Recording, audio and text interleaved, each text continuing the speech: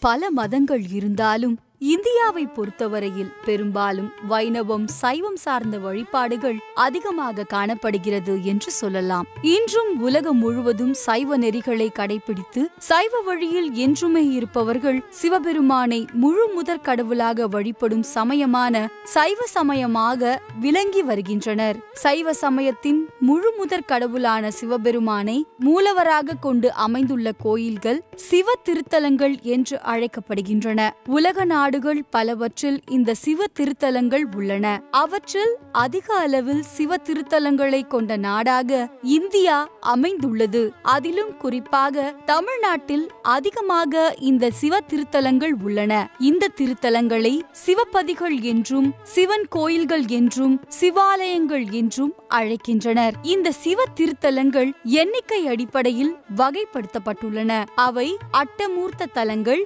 முப்பீட தலங்கள் பஞ்ச பஞ்சபூத தலங்கள் பஞ்ச கேதார தலங்கள் பஞ்ச தாண்டவ தலங்கள் பஞ்சமன்ற தலங்கள் பஞ்ச பீட தலங்கள் பஞ்ச குரோச தலங்கள் பஞ்ச ஆசன தலங்கள் பஞ்சலிங்க தலங்கள் ஆறு ஆதார தலங்கள் சப்த விடங்க தலங்கள் அட்ட வீராட்டன தலங்கள் நவலிங்கபுரம் நவ கைலாயங்கள் நவசமுத்திர தலங்கள் தச வீராட்டன தலங்கள் எனவும் அழைக்கப்படுகின்றன. சைவ அடியார்களால் பாடல் பெற்றதைக் கொண்டு தேவார திருத்தலங்கள் திருவாசக திருத்தலங்கள் தேவார வைப்பு தலங்கள் திருச்சிற்றம்பல கோவையார் திருத்தலங்கள் திருவிசைப்பா திருத்தலங்கள் எனவும் வன விசேஷ தலங்கள் முக்தி தரவல்ல சிவத்தலங்கள் சோதிர்லிங்க தலங்கள் ஆதி கைலாய தலங்கள் எனவும் வகைப்படுத்தப்பட்டுள்ளன. இவற்றில் தேவாரம் பாடல் பெற்ற தலமானது தேவார பாடல் பெற்ற காவிரி தென்கரை தலங்கள் தேவார பாடல் பெற்ற காவிரி வடகரை தலங்கள் தேவார பாடல் பெற்ற பாண்டிய நாட்டு தலங்கள் தேவார பாடல் பெற்ற கொங்கு நாட்டு தலங்கள் தேவார பாடல் பெற்ற நடுநாட்டு தலங்கள் தேவார பாடல் பெற்ற தொண்டை நாட்டு தலங்கள் எனவும்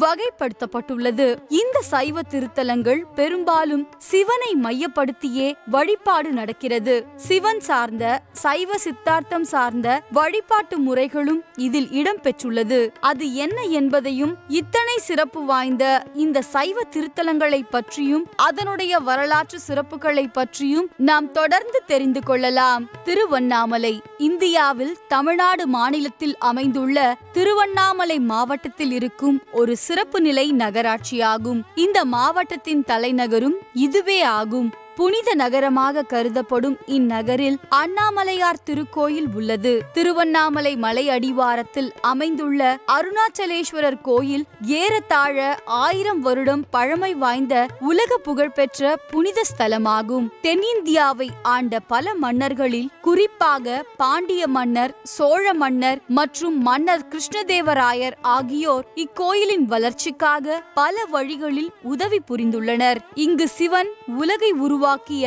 பஞ்சபூதங்களில் ஒன்றான அக்னியின் வடிவத்தில் அருள் பாலிக்கிறார் திருவண்ணாமலையில் உள்ள சிவன் பக்தர்களால் அண்ணாமலையார் என்றும் அருணாச்சலேஸ்வரர் என்றும் அழைக்கப்படுகிறார். இக்கோயில் உலக அளவில் மிகப்பெரிய கோயிலென பெயர் பெற்றது. இக்கோயிலை பற்றிய பல விவரங்கள் தமிழ் புராண புத்தகங்களான தேவாரம் மற்றும் திருவாசகத்தில் இடம் பிடித்துள்ளது. மேலும் இக்கோயிலின் மகிமையை போற்றி தமிழ் கவிகளான அப்பர் சுந்தரர் மாணிக்க வாசகர் மற்றும் சம்பந்தர் போன்ற போன்றோர் சிறப்பாக பாடியுள்ளனர். திருவண்ணாமலை ஒரு சிறந்த தேவார பாடல் பெற்ற ஸ்தலமாக விளங்குகிறது. அக்காலகட்டத்தில் ஆண்ட பல மன்னர்கள் அருணாச்சலேஸ்வரர் கோயிலின் வளர்ச்சிக்கும் வசதிக்கும் மிகுந்த பொருளுதவி பராமரிப்பு போன்றவற்றை அளித்து இக்கோயிலை பிரபலமடைய செய்துள்ளனர். பல பக்தர்களும் பொதுமக்களும் திருவண்ணாமலை வளர்ச்சியடைய உறுதுணையாக இருந்துள்ளனர். இக்காரணத்தால் கடந்த ஆயிரம் ஆண்டு காலமாக இக்கோயிலின் வளர்ச்சி பணிகள் தொடர்ந்து நடைபெற்று கொண்டிருக்கிறது. இந்த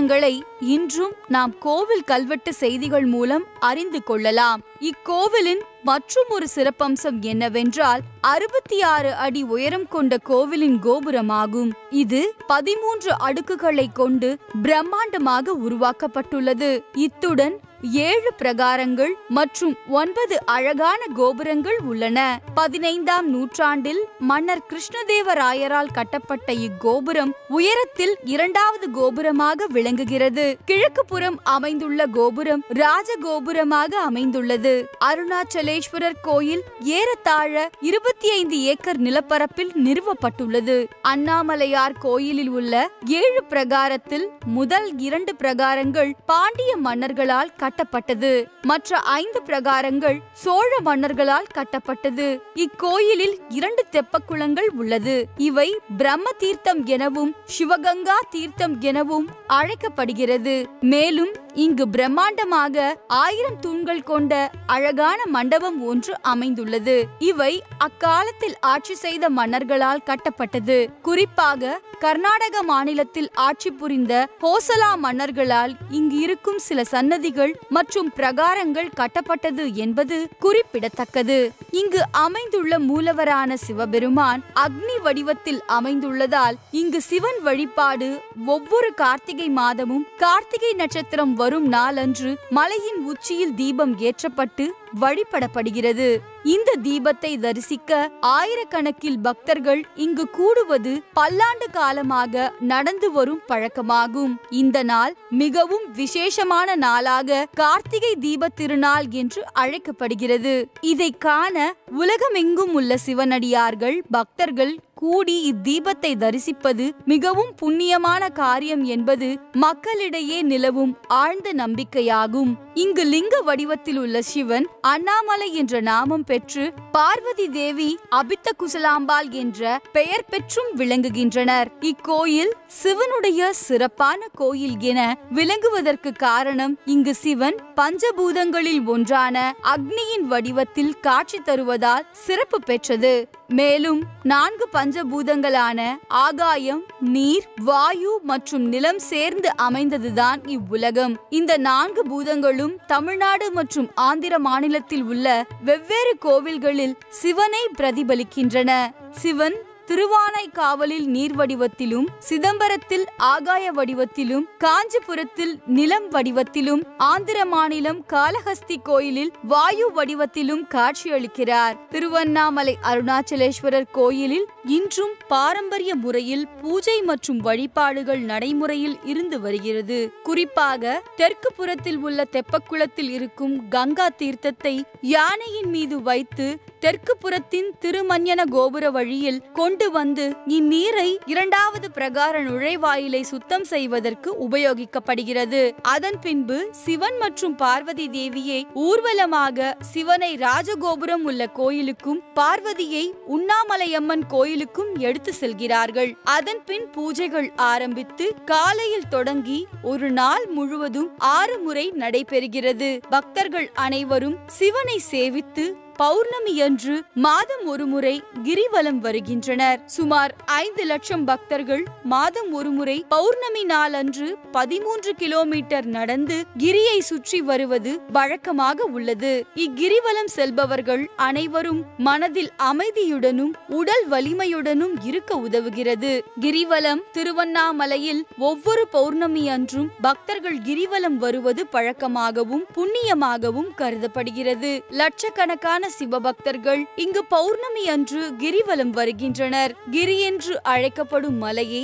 சுற்றி வலம் வருவதால் கிரிவலம் என்று பெயர் வந்தது. ஒருமுறை இந்த மலையை சுற்றி வருவதற்கு பதினான்கு கிலோமீட்டர் நடக்க வேண்டும். இதை மேற்கொள்ளும் அனைத்து பெரியவர்கள் சிறியவர்கள் அனைவரும் மன அமைதி பெற்று உடல் முழு உற்சாகமும் பெறும் என்பதில் பக்தர்களின் அசைக்க முடியாத நம்பிக்கையாகும். தற்பொழுது அண்ணாமலை என்று அழைக்கப்படும் மலை பல்வேறு காலங்களில் பலவிதமான உருவத்தில் இருந்ததாக வரலாறு கூறுகிறது. இந்த மலை கிருதாயுகத்தில் அக்னியாகவும் தீர்த்த யுகத்தில் மாணிக்க கல்லாகவும் துவாபரா யுகத்தில் தங்கமாகவும் தற்பொழுது இக்கலியுகத்தில் வெறும் கல்லால் உருவெடுத்த மலையாகவும் விளங்குகிறது என நம்பப்படுகிறது. அருணாச்சலேஸ்வரர் கோயிலில் அஷ்டலிங்கம் என எட்டு விதமான லிங்கங்கள் உள்ளன. இவை ஒவ்வொன்றும் ஒவ்வொரு திசையை நோக்கி அமைக்கப்பட்டுள்ளது. ஒவ்வொரு லிங்கமும் உலகில் இருக்கும் வெவ்வேறு திசைகளை குறிக்கிறது. இவ்வெட்டு லிங்கங்களின் பெயர்கள் இந்திரலிங்கம் அக்னிலிங்கம்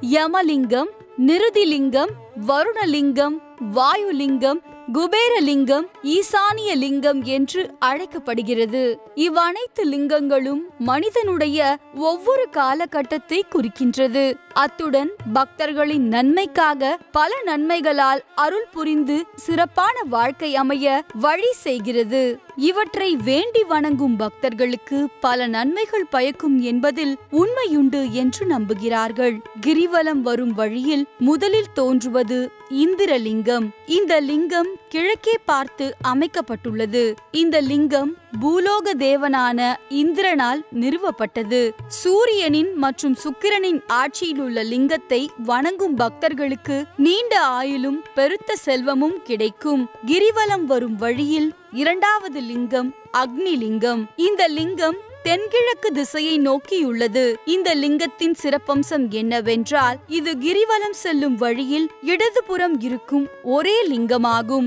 அக்னி லிங்கத்தை பிரார்த்தனை செய்யும் பக்தர்கள் நோயின்றி முழு ஆரோக்கியத்துடன் வாழ்வார்கள் என்று நம்பப்படுகிறது. இந்த லிங்கத்தின் கிரகம் சந்திரன். மேலும் சந்திர கிரகம் என்பதால் வாழ்க்கையில் வரும் இடைஞ்சல்களை அகற்றும் சக்தியுள்ளது என நம்புகிறார்கள். இந்த லிங்கம் தாமரை தெப்பக்குலத்திற்கு அருகே உள்ளது. கிரிவலத்தில் மூன்றாவது லிங்கமாக அமைந்துள்ள லிங்கம் யமலிங்கம். இந்த லிங்கம் தெற்கு திசையை நோக்கியுள்ளது. யமதர்மனால் நிறுவப்பட்ட லிங்கம் என்றும் கூறப்படுகிறது. இது செவ்வாய் கிரகத்திற்கு உட்பட்ட லிங்கம். இதன் அருகில் சிம்ம தீர்த்தம் என்ற தெப்பக்குளம் அமைந்துள்ளது. இதை வேண்டுபவர்களுக்கு பண நெருக்கடி இல்லாமல் சந்தோஷமாக வாழலாம் என்றும் நம்பப்படுகிறது. கிரிவல பாதையில் நான்காவதாக உள்ள லிங்கம் நிருதி லிங்கம். இதன் திசை தென்கிழக்காகும். இதனுடைய கிரகம் ராகுவாகும். பூதங்களின் ராஜாவால் இந்த லிங்கம் நிறுவப்பட்டது. சனி தீர்த்தம் என்று அழைக்கப்படும் தெப்பக்குளம் இதன் அருகில் உள்ளது. இதை வேண்டும் பக்தர்கள் நிம்மதியாக எந்த பிரச்சனையும் இன்றி வாழலாம். கிரிவல பாதையில் ஐந்தாவதாக உள்ள லிங்கம் வருணலிங்கம். இதற்குரிய திசை மேற்கு. மழை தரும் வருண தேவனால் இந்த லிங்கம் நிறுவப்பட்டது. இந்த லிங்கத்தை ஆட்சி செய்யும் கிரகம் சனி பகவான். இங்கு வருண தீர்த்தம் என்னும் தெப்பக்குலம் உள்ளது சமூகத்தில் முன்னேற்றம் அடையவும் கொடிய நோய்களிலிருந்து தப்பிக்கவும் இந்த லிங்கத்தை பக்தர்கள் பிரார்த்தனை செய்ய வேண்டும். கிரிவல பாதையில் ஆறாவதாக உள்ள லிங்கம் வாயு லிங்கம் இந்த லிங்கம் வடமேற்கு திசையை நோக்கியுள்ளது. வாயு பகவானால் இந்த லிங்கம் நிறுவப்பட்டது. இதை ஆட்சி செய்யும் கிரகம் கேதுவாகும். இந்த லிங்கத்தை சேவித்து வந்தால் இருதயம் வயிறு நுரையீரல் மற்றும் பொதுவாக வரும் எல்லா நோய்களிலிருந்தும் காத்து கொள்ளலாம் கிரிவலத்தில் உள்ள ஏழாவது லிங்கம் குபேரலிங்கம் வடதிசையை நோக்கியுள்ள இந்த லிங்கம் குருவை ஆட்சி கிரகணமாக கொண்டுள்ளது. செல்வத்தை வழங்கும் குபேர தெய்வத்தினால் இந்த லிங்கம் நிறுவப்பட்டது. பக்தர்கள் செல்வ செழிப்புடன் திகழ இந்த லிங்கத்தை பிரார்த்தனை செய்ய வேண்டும். கிரிவலத்தில் உள்ள கடைசி லிங்கம் ஈசானிய லிங்கம். வடகிழக்கை நோக்கியுள்ள இந்த லிங்கம் எசானிய தேவரால் நிறுவப்பட்டது. புதன் கிரகம் இந்த லிங்கத்தை ஆட்சி செய்கிறது. இந்த லிங்கத்தை சேவித்து வரும் பக்தர்கள் மன அமைதியுடனும் அனைத்து காரியங்களிலும் ஜெயம் கொண்டு திகழ்வார்கள். திருவாரூர் பிறக்க முக்தி காசி இறக்க முக்தி திரு அண்ணாமலையாரை நினைத்தாலே முக்தி என்பதற்கு ஏற்ப அண்ணாமலையாரையும் உண்ணாமலை அம்மனையும் பற்றி தெரிந்து கொண்டு இறைவன் திருவருளை அடைவோமாக.